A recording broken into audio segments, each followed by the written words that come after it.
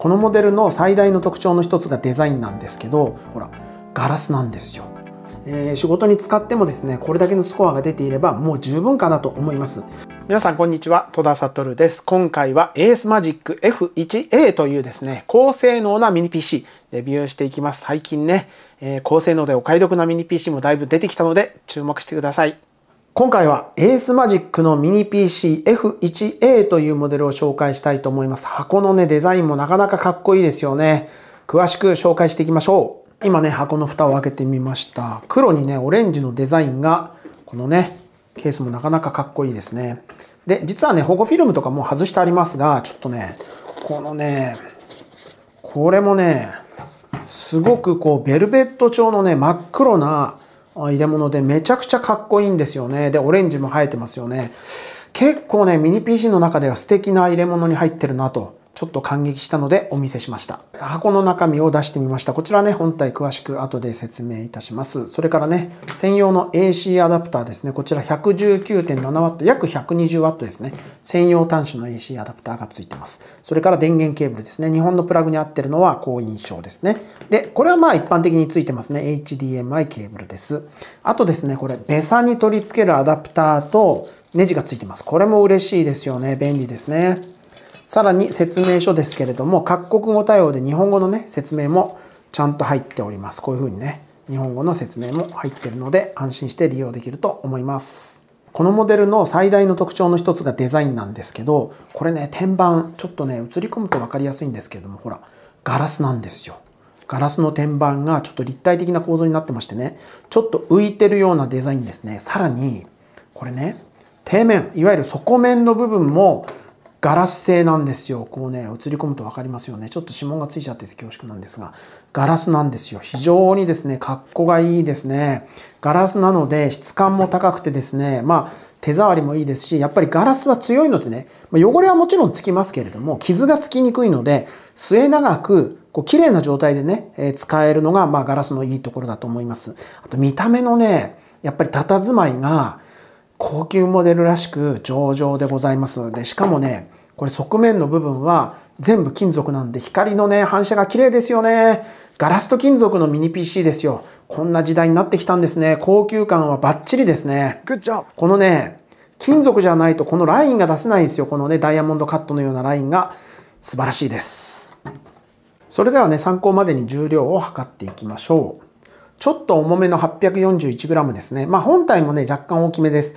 で、ガラスもですね、え、強度が 7H で、え、側面の金属も CNC のアルミニウム加工ということで、まあ削り出しですね、アルミのね。非常にですね、まあ高級感がありますが、その分ちょっと重くなってますけれども、まあ持ち歩かない方にはね、何の問題もないし、これぐらい重量あった時の方がケーブルの抜き差しとかでね、動きにくくて良いかなと思います。それでは端子類を紹介していきます。こちらね、本体のフロント部分になりますね。えー、こちらが電源ボタンになります。で、横がね、3.5mm のオーディオジャック。タイプ A が2つ並んでますね。こちらがね、USB3.2 の Gen2 ですね。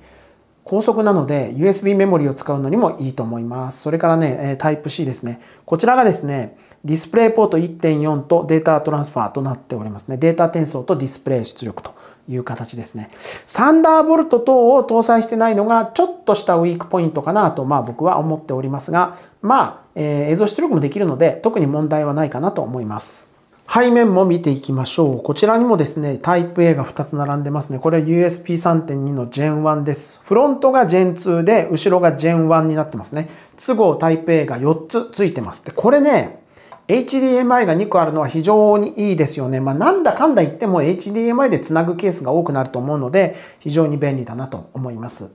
まあ、ディスプレイポート搭載している機種も、それはそれでいいんですけれどもね、選択肢としては。使い勝手としては HDMI が今一番使いやすいかなと思います。映像出力は、この2つに加えて、フロントの Type-C で合計3つ映像出力ができます。こちらにですね、USN ラン端子搭載してます。RJ45 のね、有線 LAN となります。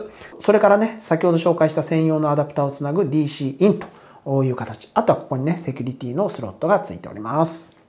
それではですね、中身開けていきたいと思います。このモデルですね、このゴム足を回すと、ネジになってましてね。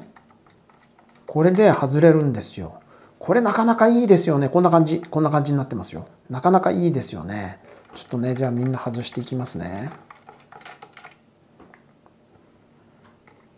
どうしてもねガラスなので指紋がついてしまうことはご容赦いただきたいと思います。これがねベサのアダプター取り付ける穴ですね。それからファンの穴もね開いてますね。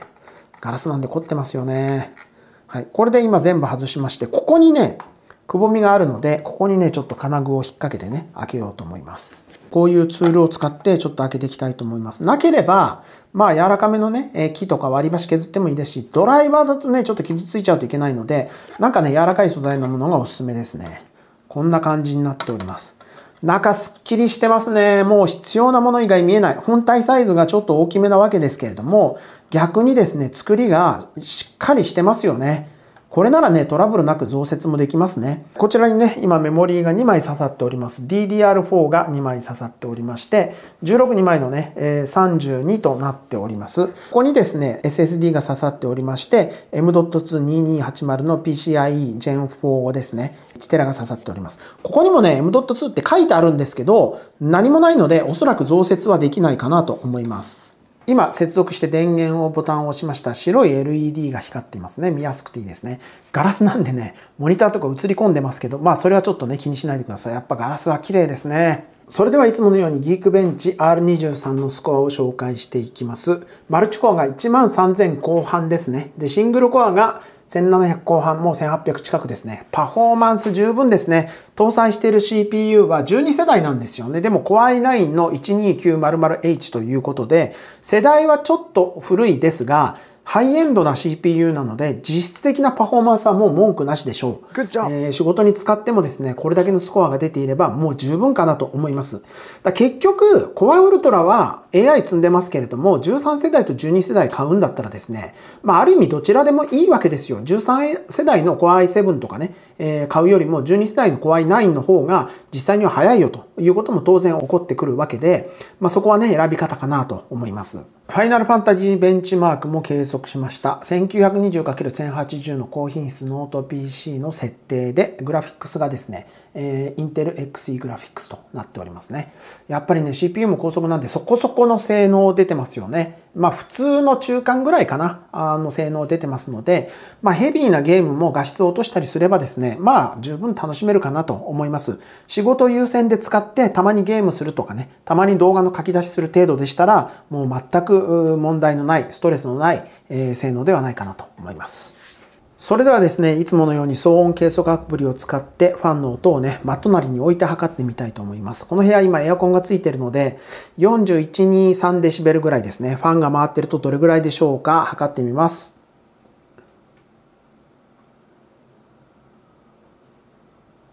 40後半ぐらいですかね。非常にね、優秀ですね。ファンの音回ってんの僕今6、70センチ離れてますけど、まあ、かすかに聞こえます。かなりファン静かですね。優秀ですね。ボディサイズがね、やっぱり大きいだけあって、冷却優秀かなというふうに思います。とにかくファン静かなので、騒音気になる方にはいいモデルかなと思いました。今回はエースマジックの F1A レビューしてまいりました。いかがでしたでしょうか？なかなかのね、性能、12世代でもね、侮れないですよね。やっぱりね、Core i9 だとだいぶ性能が高いですね。えー、Core i9 の 12900H プロセッサーにメモリーもね 32GB というところでパフォーマンスは十分ですよね。さて気になる価格なんですけれども、最終的にはね、これタイミングによっても変わりますのでね、皆さん概要欄から確認していただきたいんですが、セール価格で81,200円と、これはね、なかなかいいんじゃないかなと思います。結局ね、13世代の Core i7 ぐらいのね、性能余裕で出てますし、ファンの音がね、静かなのが特にいいなと僕は思いました。あとガラスとね、アルミニウムのかっこいいボディもですね、特徴の一つですね。8万円台前半 ?8 万1000円ちょっとで買えるんだったら、かなりいいのではないでしょうか。えー、メインマシンとしてね、ミニ PC 手に入れたい方にはおすすめの1台となっております。今回も動画をご覧いただきありがとうございました。チャンネル登録、グッドボタン、ぜひよろしくお願いします。それからメンバーシップもスタートしておりますので、興味のある方はぜひ参加してください。えー、メンバー先出しのね、えー、動画公開とか、メンバー限定のライブ配信、それからね、リアルのイベントの優待等もございます。またメンバーシップに加入していただきますと、戸田悟ファンクラブに無料でご招待します。でこの戸田悟ファンクラブでは、抽選でですね、毎月僕がレビューした製品の一部、大体5製品から7製品ぐらいが多いんですが、プレゼントしておりますので、ふるってご応募ください。